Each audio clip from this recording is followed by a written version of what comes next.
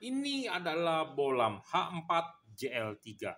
Bolam LED tipe H4 dengan tiga warna.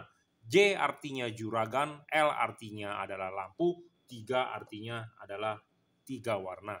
Bohlam ini bisa menghasilkan tiga warna. Yang original Anda bisa lihat e, bentuknya seperti ini. Di sini terdapat logo emboss Jungki Wenas. Hati-hati produk palsu yang dijual di online shop.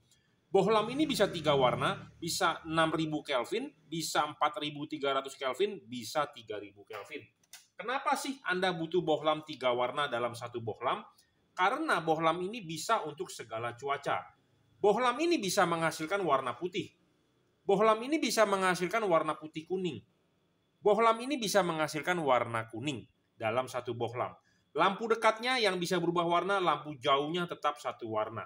Pada saat lampu dekat warna putih, Anda lampu jauh warna putih.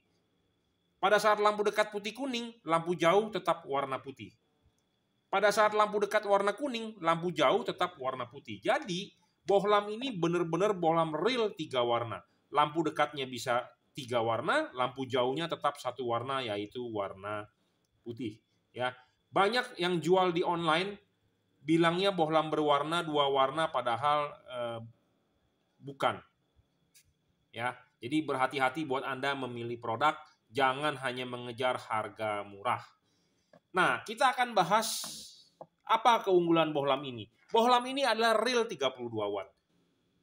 Real 32 watt dan dia tidak ngedrop. Ini penting untuk Anda, kenapa Anda harus beli LED yang tidak ngedrop. Karena di pasaran banyak sekali pedagang yang berbicara LED-nya wattnya besar-besar, 50 watt, 60 watt, 70 watt, 80 watt, 90 watt. Padahal kenyataannya semua bohong. Ya, saya berbicara fakta, LED ini 32 watt, real diukur menggunakan alat yang namanya wattmeter. Ya, saya tidak menghitung bohlam ini 32 watt, lampu dekat, lampu jauhnya 30 watt, jadi bohlam ini 64 watt dikali 2, jadi 120 watt. Saya tidak mau mem membohongi Anda. Intinya adalah 32 watt dan dia real. Sebagai syarat bohlam bagus selanjutnya adalah dia tidak boleh ngedrop. Karena banyak sekali bohlam ngedrop. Kenapa bisa ngedrop? Karena drivernya tidak sesuai, kepanasan, overheat, tidak ada pendinginan yang baik. Nah, makanya Anda jangan sampai tertipu dengan iklan marketing yang tidak sesuai dengan fakta. Ya, bolam ini real 32 watt.